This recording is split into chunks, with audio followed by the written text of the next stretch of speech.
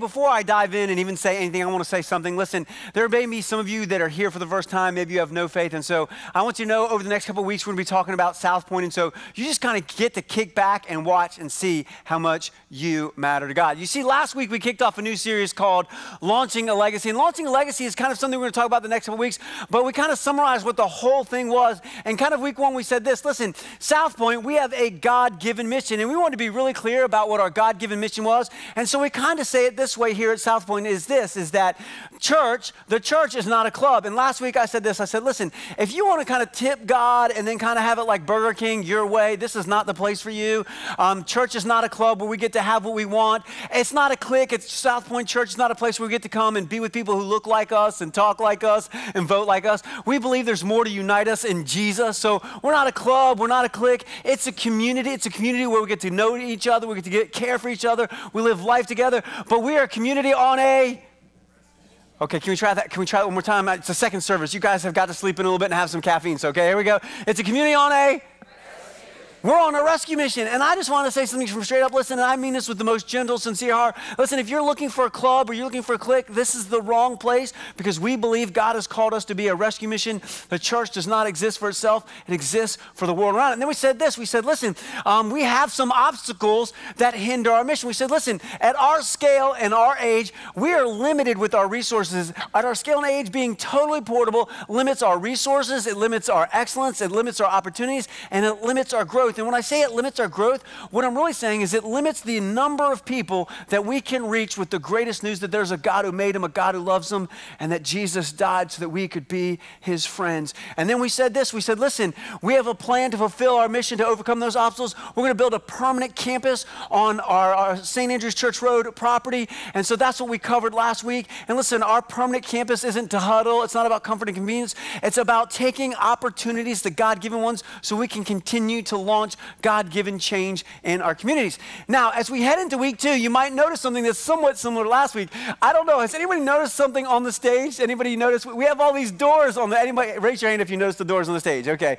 The rest of you get glasses, right? Like um, we have these doors on, that are on the stage. And matter of fact, we, they, these aren't part of like the school's play.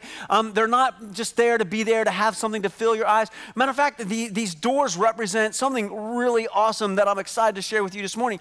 You see, See, here at South Point Church, we have an amazing student ministry. And this past summer, we sent 59 students to something called Big Stuff. I'm going to put a picture up here.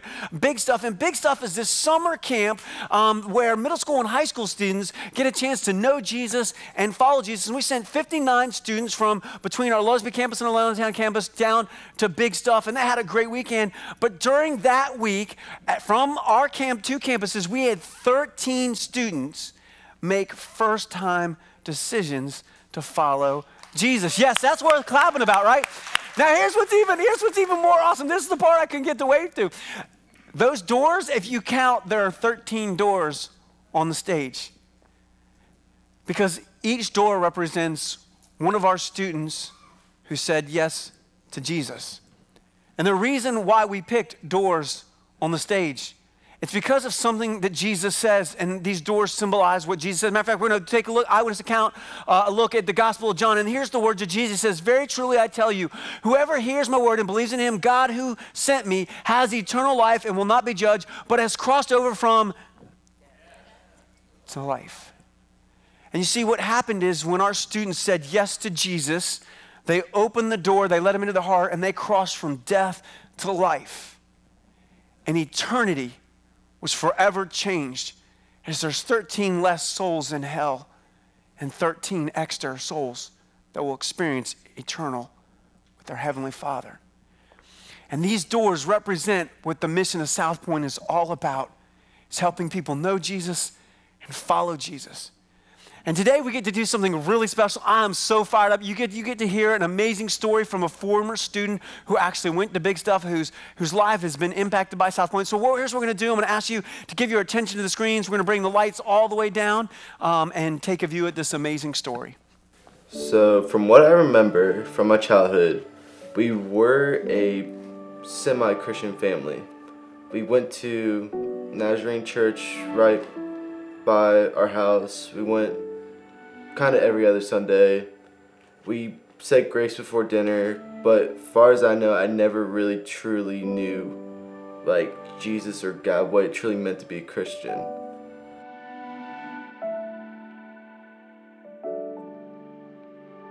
My parents were married, but were always together. It was me and my half blood sister. We all lived in my grandfather's house for the longest time.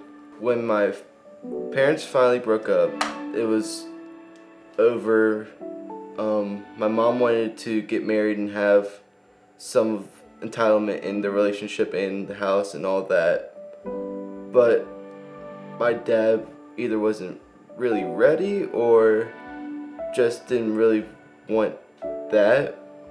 And that really tore the family up a lot.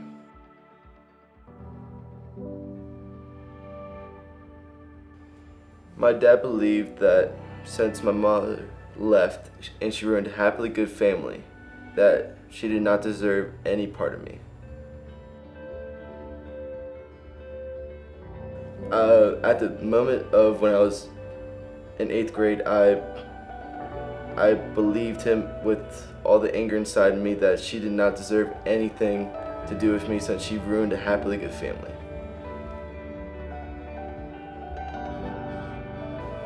So that isolation from my mother roughly stayed for about my eighth grade year to my sophomore year, where I would not have any part of her.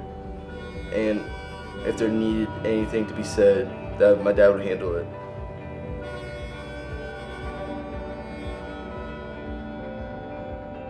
My best friend Gabe Kaiser, he told me about South Point and he offered it to me and my dad and well me and my dad were in a place where we kind of needed to go since we both were in a slump and in a dark place. So we were taking up the offer. And me personally i really enjoyed my first time going to middle school ministry. It seemed like they actually cared about the students and wanted the best for them which is what i needed at the time So when I first went to Big Stuff was that summer, and we went down to Daytona Beach. And for anyone that doesn't know what Big Stuff is, it's a huge Christian camp. I was nervous, but kind of influenced to go, and it was huge impact on my life. That's where I learned more and grew closer to Jesus than I ever had, ever. And that's where I finally noticed that the burdens and the struggles of my life can possibly be removed and possibly be gone in my life. I started to realize that I can't hold this burden or hold a grudge against my mom for something that she thought was right for herself. And I realized that my dad can't tell me to not love my mom.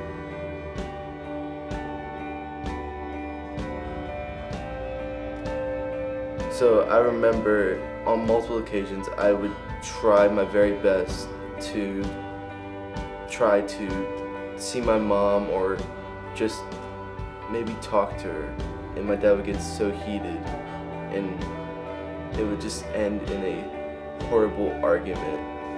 I kept on being persistent, kept on fighting him, asking him just anything to do anything with my mom and he finally like gave in and was like when I turned 18 and started being more independent that I could see my mom freely whenever I wanted to no like consequences no chains nothing.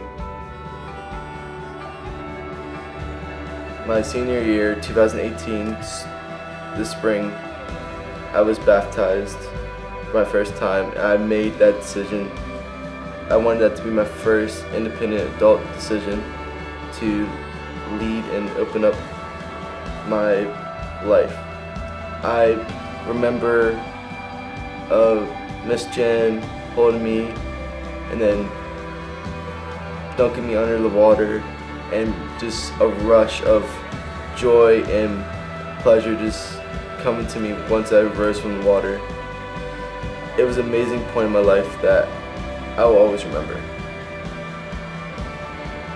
Now I can see my mom freely, uh, whenever I want, and me and my dad are still very close and very happy for each other, and he has no problem for me seeing my mom.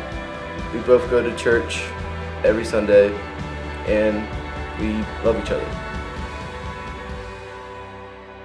Hey, can we give it up for my friend Dom? I don't know if you know how hard it is uh, for a student to tell a story that includes pain in front of a camera, knowing that everyone at church will see their story. Um, but here's some amazing news about my good friend Dom. Is uh, Dom has graduated from high school last year, as you heard. He got baptized. Um, but here's the amazing thing about Dom is that he is continuing to take his next steps, and he is now reaching backwards. He actually serves in our kids ministry and serves on the elementary team because he knows that his life is more than just consuming, and he wants to give back. And so I'm so proud of them. And here's something I want to do at our Lusby campus. If you're watching on our YouTube channel or live, um, if we could stand, we're going to pray for my good friend Dom, and then let him not be embarrassed up here on stage. So. If you guys would pray with me, Heavenly Father, we are so grateful for all that you do. We're grateful for Dom's life. We're grateful for the healing and the grace that you've brought into his life, God. Uh, God, we're grateful for the launching points of big stuff and baptism, God, but we believe the best is yet to come in his life, God. We believe that you're going to launch his life in a direction that he could have never, ever imagined, and that his best days are ahead of him. So, God, we pray for continued healing in his family, God, continued direction. Thank you for the gift that he is, and we are so proud of the man that he is is becoming. We ask that you would keep him and protect him. We pray all this in Jesus' name. Amen. Let's give it up for my friend.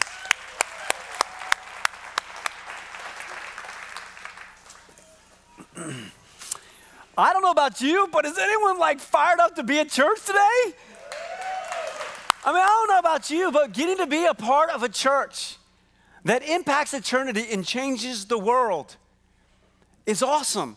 And it feels good. I mean, you look at those doors, you, you see the stories, and you go, man, it feels good to be a part of something that is creating life change. But here's what I discovered about the feel good of the life change that we all love that there's an uncomfortable truth that goes along with it. See, we all get really excited. We all love the doors up here, and we, we, we all love like the, the story of Dom, right? But, but, here's, but here's what we don't realize is, is that life change just doesn't happen. Matter of fact, we're gonna, we say it this way here, which is this, and we're going to put it up on the screen. I promise you it's coming. Life change doesn't just happen, and it's not. Life change doesn't happen. Dom's story didn't, it wasn't an accident that just happened. And it wasn't just free. Life change doesn't just happen, it's free. And so here's the truth that we realize about life change life change requires vision and resources. That's why at South Point, when you come, we say, we don't care where you've been, we don't care what you've done, because we want to see you through God's eyes. See, God says, when I step into your life, it doesn't matter where you've been, what's been done by you or to you, when you say yes to Jesus it changes the direction and launches your life in a different way. And we have God vision here at South Point, and it takes resources. I mean, we, we all love the doors, and we love Dom's story, but I want to tell you something. Did you know that big stuff wasn't free? I mean, we had to pay the camp. There's this camp fee that you have to pay to send students here. And the reason there's, a camp fee is, is, well, because you know what? They have speakers there, and they have a band there, and they have all these leaders there, and they do all these, these things, and they provide resources. And you know what? They have families, and they need to eat, and they have bills too. So, so it's not free. And did you know that the hotel that the students stayed at, did you know that that wasn't free either? I mean, someone had bought that property, built that building, they had employees there, and they needed to be paid, and they need to eat food, and so that wasn't free. Did you know the buses that the kids took, the, you know, the, the the big 57 passenger uh, buses that they took. Did you know that wasn't free? I mean, someone had to buy the buses. The bus driver, he has a family. He needed to like have resources, so that wasn't free. Did you know that the food that they ate at the Big Stuff conference, it wasn't free. Someone had to make it, someone had to grow it, someone had to serve it. It wasn't free. A matter of fact, the total cost to send a kid to Big Stuff was over $700 per kid. Did you know at South Point, we scholarshiped of the 59 kids or students that went, we scholarshiped over 15 of them. We gave some students full scholarships, we gave some students part scholarships or, you know, a little bit. But overall, South Point invested over $13,000 to send 59 students and 11 volunteers to Big Stuff. Yeah. When I did the numbers, it's 1% of our budget was invested into those 13 doors that you see behind you. And that doesn't include the staff hours and the events we ran to reach those kids and to invite those students there which leads us to the feel good. We love the feel good stories, but it leads us to this uncomfortable truth this morning. And, and here's the uncomfortable truth creating life change that impacts eternity comes with a creating change in the life of my friend Dom. 13 students who said yes to Jesus, and he tells us that they've crossed from, from death to life, came at a cost. Now, this is the part in the message where I need to give you a confession. I need to confess that I have failed. And you might be asking, well, what have you failed at, Pastor Matt? I think I have failed to communicate this in a compelling and clear manner on a regular basis. And the reason I haven't done this in a compelling and clear manner is because if we are really honest, churches, everyone nod your head, have abused this, right? Churches have abused the conversation of money. Everyone nod their head. We all know that that's true, right? Matter of fact, for some people, it's why you left church. And in an effort to kind of like avoid all that, I've not shared a truth that is tied to what we love. We, what's tied to the feel good of impacting eternity and change lives is, is that it's not free, that it comes at a cost.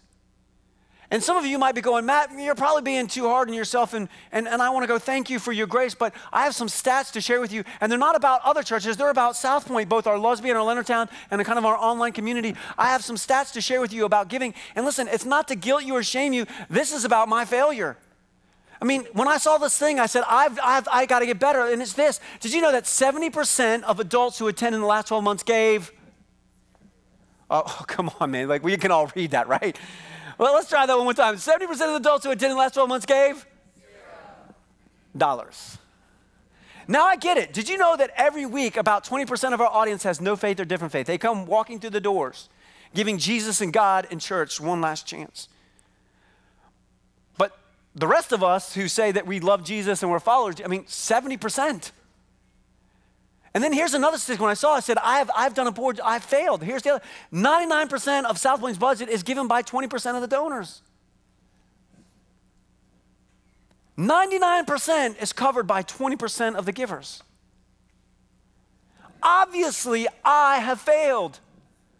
Obviously, I've done a poor job of communicating a truth that life change that impacts eternity and changes the world and empties hell and fills heaven requires resources, financial resources. And so I'm going to apologize to our Lusby campus, to our Leonardtown campus, and to those watching online. And I am sorry and I'm committing to do better. But here's a truth that we all need to acknowledge that the local church, listen, the local church is not funded by some outside organization. There's no outside organization going, man, we love St. Mary's County so much, we're just gonna, we're just gonna pay for everything so you can know Jesus. There's, there's no outside organization. Did you know the local church is not funded by some business out there looking for a tax break?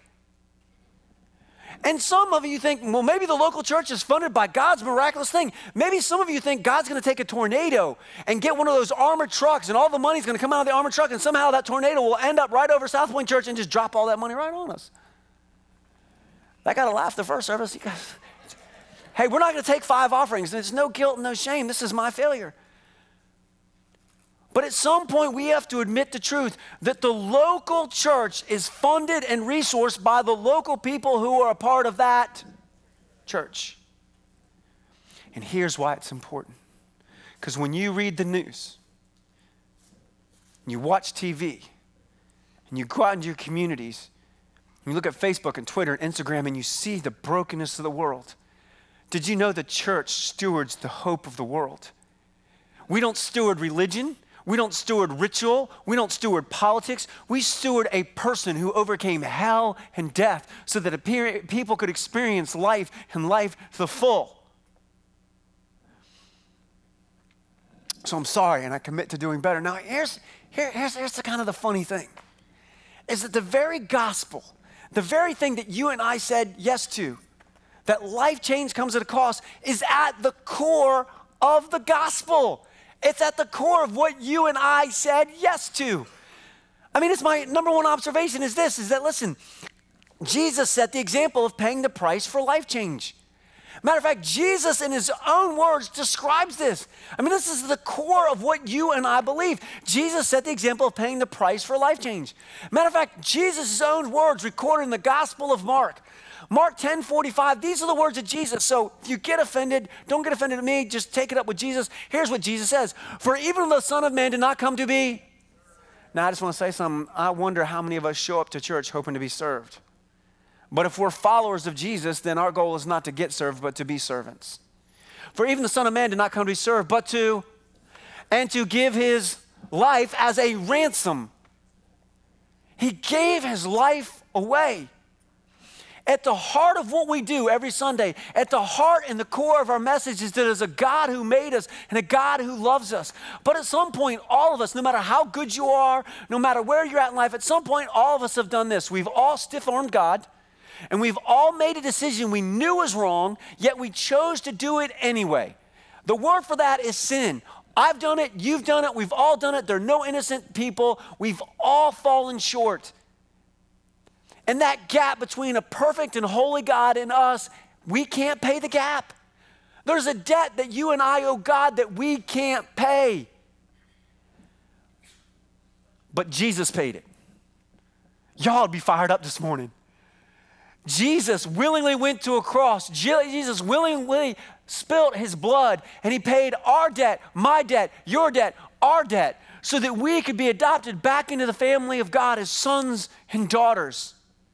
Jesus set the example of paying the price. At the core of what you and I believe is that we couldn't earn it and we don't deserve it.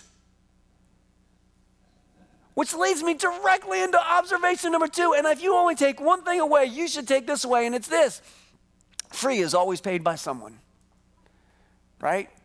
Free is always paid by someone. There's nothing ever truly free, it just means someone paid for it. And this is at the heart of the gospel that we could not give God what we owed him, but Jesus paid it for us. And here's the most amazing news grace is free.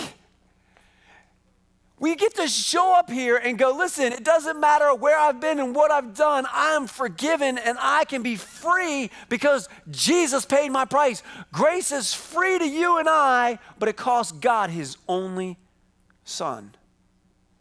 And I think sometimes we forget that our forgiveness was bought with the blood of Jesus. Matter of fact, even the first followers of Jesus understood this concept.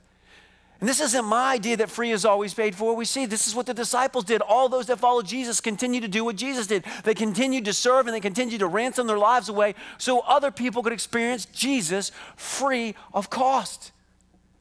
Matter of fact, we pick it up in the Gospel of Luke. The eyewitness account says, After this, Jesus went out and he saw a tax collector by the name of Levi sitting at his tax booth. Follow me, Jesus said to him. And Levi got up everything and got up and left everything and followed him. Now I want to stop right there. Listen, Jesus called this guy Levi, who was a tax collector.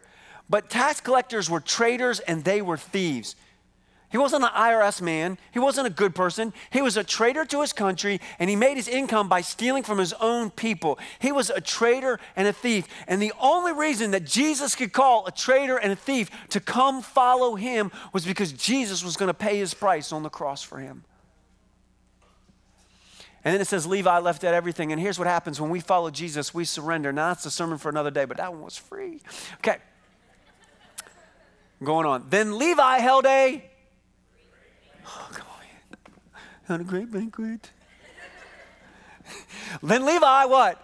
Held a great banquet for Jesus at his house, and a large crowd of tax collectors and others were eating with him. So here's what Levi does Jesus calls Levi to follow him. And what is one of the first things that Levi does? Levi throws a great banquet. I mean, he throws out a spread, he throws out, you know, all that they can drink. And then just so you know, you know, for all you tea teetotalers, like it was wine back in those days, right? Like it was, you know, stuff of the grape. And so, you know, they had wine, they had food, they had cheese, like all kinds of food. Levi threw a great banquet for his friends. Now I just want to ask a question who do you think paid for that banquet? Oh, it's not a trick question, people. It was Levi. Like Jesus didn't like say, hey, magical, magical elves make Krabler, you know, Keebler crackers and cheese. Like it doesn't say he did a miracle of the wine. Matter of fact, who paid for this? Levi, at his own expense, used what he had been blessed with to bless others. Imagine if the church could get a hold of that.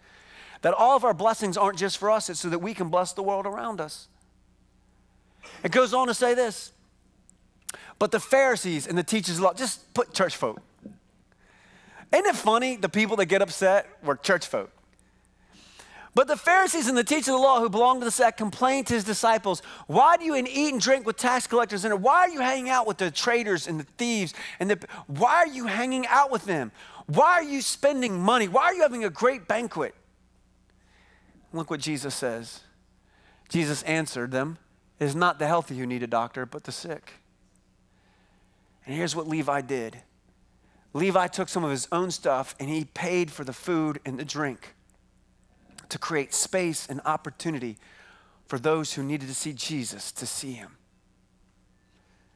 You see, because even in the Bible, we see that free is always paid by you know, here at South Point, every time we do announcements and we take offering, we make this statement. We say, listen, if you're new to South Point or not a follower of Jesus, we don't want something from you, we want something for you. Please don't give in the offering. But just so you know, we're not really talking to everyone who calls South Point in their home. We're not saying that to you. It's for the new people. It's for the people who aren't in yet. It's for the people who are still discovering whether it is they want to follow Jesus or not. But they get that free. They get to experience all this freely because someone else. And it's the responsibility and the privilege of those of us who name the name of Jesus. Which leads me directly into, into, uh, into observation number three, which is this followers of Jesus give back to God out of not followers of Jesus give back to God out of love, not guilt. Like, see, man, like, think about this. When you and I understand grace, when you and I absolutely understand what grace is, we will always be generous. Listen, listen. When you understand that grace will buy you an inheritance in heaven that you couldn't imagine, when you understand, no matter kind of your family background, if you grew up in a church home and you made straight A's and you did this and you did that, that you still didn't earn your way to heaven, when you understand grace is that you and I were eternally separated from God and we were going to spend eternity hell, and God sent His Son and He paid a price that we couldn't pay out of love. He gave up heaven's best. When you and I fully understand grace, something happens in our heart. And when it comes to giving back to God, we don't do it like, oh, I have to. Oh, woe is me. Oh, I just want to get. Like, if you really understand grace, you don't want to do that. You are fired up and excited about it. I mean, listen, the scripture tells us listen, there's this guy, his name was Saul, and he actually became this guy named the Apostle Paul. And see, for many people who are critical of the New Testament, I always go, man, you have a real problem with Paul because in history outside the Bible, there's this guy named Saul. He persecuted the church. This was after Jesus was dead and resurrected. Yet this guy who persecuted the, persecuted the church named Saul became a guy named Paul because he encountered a risen Jesus. Listen, you and I can disagree with the tomb means that it's empty, but it's empty historically. And this Paul goes around and he plants church. And there was a church in Corinth that's a lot like this church. It had people who had no faith background. It, it, had, it had people who had come from different backgrounds. It had some Jewish people who grew up in church. And it was in a port city. It was kind of wild and crazy. So it's a lot of church like this, very diverse and kind of crazy. Here's what the Apostle Paul writes. He says this. He says, each of you should give what you have decided out of your, not out of guilt, not because the pastor told you, not out of shame, but out of your, to give. Not reluctantly or under compulsion, for God loves a cheerful giver. Because when you understand grace, that everything that you think about this, how did you get born wherever you were to have whatever it is that you have? How were you born in the family? How were you born with the talents and the abilities you have? How are you born with the chance and the opportunities to get where you are? They are all free gifts from God. And so we cheerfully give back. And then he doesn't end there. In verse 13, here's what he says He says, Because of the service, what service? That you were generous, that you gave so that the mission of God could happen here on earth, so that we could bring up there, down here. That doesn't just happen by itself, it happens because people have vision and resources. Because of the service by which you have provided yourselves, others will what? When you and I pay, and give and serve, people like Dom will give thanks to God for the change that has happened in his life. When those students who crossed from death to life because there was a church that had staff people that were paid for and paid for their trip, they're going to thank God. And then it says for the obedience. Now, remember I said I don't do very good at this stuff? Like I get all nervous and worried that you just, you know, think I want money. But I, I need to be better at obedience. I need to be better, and I told you I'd tell you the truth, so you just need to See, here's the thing why Paul uses obedience because God tells his followers from the beginning of the Bible to the end of the Bible. So I want everyone to look up here. God tells his followers, not non followers, not businesses, God tells his followers that all that you have really belongs to him and that God wants you to keep most of what you have, but that you should give in proportion to what you do have, not what you don't have. But you should take about 10%. I'm not going to argue with you about the percentage. We can do that on a different day. But God says you should take about 10% and give it back to His mission, which means you get to keep about 90% of what you have to save and to spend, right? And He says that accompanies your confession of the gospel of Christ. Now, anytime I talk about giving up to 10%, people always go, well, uh, you know, and I, so again, this is going to be a little bit of a tough part. So this is like, just, I might offend you and you may never come back, but I, I just have to be honest. To take a survey. So if you're in Lusby, could you take this with us? If you're watching online, take it with us. If, I need everyone to participate, even if you hate me and are going to throw stuff at me later, that is okay. But if we could just all participate. Okay, so here's the participation. Okay, so if you have gone out to a restaurant where you had a waiter or waitress serve you in the last 90 days, I want you to raise your hand. Go ahead, raise your hand. If you've gone out to a restaurant, and some of you are lying because I've been out in Southern Maryland, people eat out all the time, right? I would, I would bet that 99% of us have been to a place where we had a waiter or waitress service in the last 90 days. Okay, now I want, we're going to do a raise your hands again at Lusby online, everywhere, right? Okay. If you left your waiter or waitress a tip of 15, 18, or 20%, I want you to raise your hand. Raise your hand. Raise your hand. Okay, so I'm going to ask you a question. Why is it okay for you and I to leave a waiter or waitress a 15, 18, or 20% tip for serving our food, but we're offended when someone says we should give 10% back to the God who saved us with the blood of his son.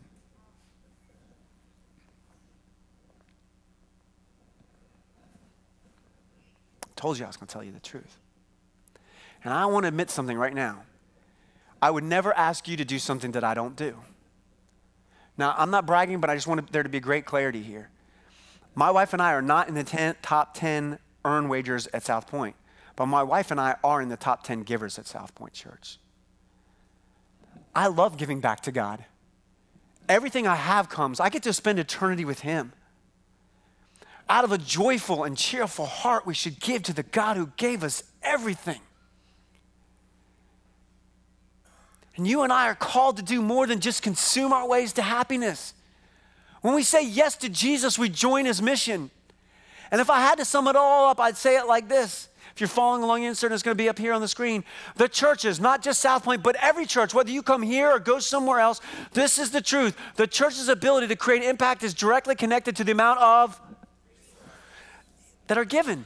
Listen, only God can change hearts. Only the Holy Spirit can do what the Holy Spirit can do. Listen, you and I can't change human hearts, but God will always use people, God will always use their resources to create space and influence and opportunities for people to do the ministry. People always go, We should do more. And I go, Yes. You know what we need to do more? We need more. Oh, come on, man. I'm not gonna, like, it's just true. People always, How much ministry can you do? I go, As much money as we have. Like, it, our ability to have impact comes from the resources that we have volunteer resources, financial resources. And we're not doing it so that I can ride in a yacht or we're going to have a gold mansion church. It's for what those doors represent right behind me. And as we continue to take our next steps to overcome the obstacles that are keeping us from reaching more people, I want to put something up on the screen. I want to ask you to do this. Inside, if you didn't get one of these, but I hope that everyone have got one of these when you came in. Uh, the usher should have given it. If you didn't get one, uh, please raise your hand. It's a generosity guide. About partnering with us as we take the next steps. And here's what I want to ask listen, this generosity guide is not about guilt, it's not about shame, it's about a spiritual journey. Where are you at in giving back to God? And where does God want you to be? And in here it says, listen, you can pray. It gives you some idea of how we're going to raise the funds necessarily to build our building. And it talks about maybe some giving revenues you haven't thought to and what a pledge would look like. And so, listen, if you're here and you're not married, I would really encourage you to like just look over this, pray, and seek what God is. This is a spiritual response, not a compulsive, like guilt you deal. And if you're married, please make time to sit down and talk to your spouse and go over this generosity guide. Now, I need everyone to do this with me, even if you hate me, even if you're never coming back. Um, I, there's a commitment card. So I need everyone to grab it. Everyone grab it, kind of shake it like this because I'm hot up here. So if you could shake it, it would fan me. Please, everyone, I need everyone come on, let's be online. Like, and if you're online, you can just look at this one with shake. Okay. Now here, I want you to notice. Just notice what didn't happen? This thing did not go into your wallet and take your money. Do you notice that when you touched this card, it didn't take your credit card information? No money came out of your account or your wallet when you touched the commitment card. People often ask me, Pastor Matt, why do we need a commitment card as we begin to take our next steps? And I say, it's so the church can take wise financial decisions. And go, well, the Spirit will move. And I go, yeah, the Spirit can move ahead of time, as same in the moment. And so we believe God's presence moves in preparation as in the moment. So this allows us to know from the local church what resources we have to spend.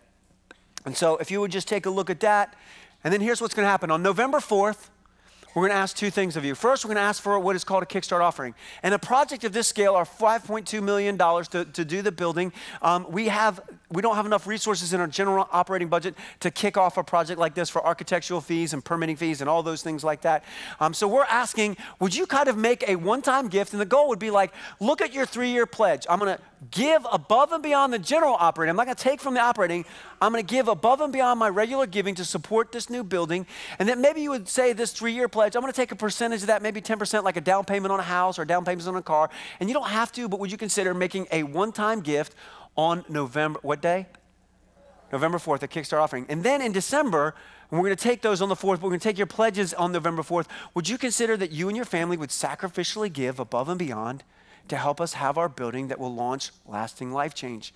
And what we've discovered is if you give monthly, people can give over a three year period what they can't give in a one time. Now, we've talked about all the uncomfortable things, okay? So now we get to talk about the feel good. Everyone smile. It's good. We're done. We're done. We're, we're done with the uncomfortable. Everyone's, it's okay. Smile. Smile at your neighbor. It's okay. It's good, right? Now we're to talk about the feel good part. See, I don't know if you know this, but here at South Point, we don't believe in the next generation. We believe the next generation is the now generation. I don't know about you, but I grew up hating church. You sat in hard wooden pews, they yelled at you, they smacked your hand, you didn't understand anything what they were doing. And we don't want our kids or our students to grow up in that kind of environment. We want our kids and our children, our students to come to a church that they love, where they hear there's a God who made them, a God who loves them, and a God who wants to be friend. Did you know that every Sunday between our two campuses that there's over 220 18 and under high school, middle school, and students at our South Point campuses. Did you know that 220, 18 and under is larger than the average church in America? And you may or may not know this, but twice a year we do something at South Point at both of our campuses where we offer our students and our kids, age appropriate, of course, up to a certain age, um, we offer the kids and the students a chance to respond and say yes to Jesus. So last Sunday, when I was up here talking about the church is a mission, a rescue mission, did you know that 10 kids and two students said yes to Jesus? And we could add another 12 doors up here just this last Sunday. Yeah, we should, that's awesome. 10 kids, two students just last Sunday. Everyone wants to be a part of a church that impacts eternity and changes the world. At South Point, our number five value is we're contributors, not consumers. So I want to leave us with this question where are we on a journey of giving back? And where does God want us to be? Because if we follow the example of Jesus, that means it's free for someone else, but someone paid for it.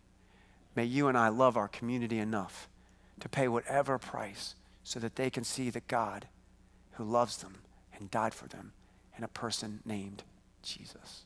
Let me pray. Hey, God. I am always amazed that you would send your son and you would pay a price for a knucklehead like me. That when we couldn't earn it and we couldn't deserve it, when we were your foe, you fought for us. And you sent your son to die, to pay a price we couldn't pay. And Jesus, you ask those of us that follow you to follow your example, that would give our lives away so that other people could find life in this person named Jesus. God, as we continue to take our next steps, God, may we never be moved by guilt or compulsion, but may our hearts be moved by the God who loves us. We thank you, and we pray all this in Jesus' name. Amen.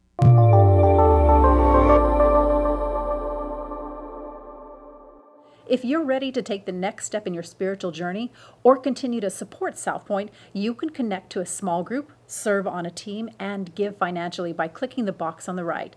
To watch other sermons from South Point Church, click the playlist on the left. Click the logo to subscribe.